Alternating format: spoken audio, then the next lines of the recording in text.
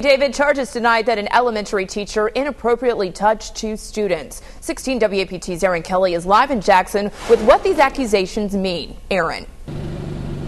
The Hinds County Sheriff's Department says it's arranging for a male teacher here at Green Elementary School to turn himself in. They say this is related to two reported incidents from October, and that led to an investigation last month. Now, the Sheriff's Department says an unidentified male teacher is accused of molesting two children in the fifth grade. They say it's charging two other teachers. It says knew about the incident but didn't report it to law enforcement or DHS. And we talked to a woman with grandchildren at the school who calls the allegations very disturbing. This was the first I've heard.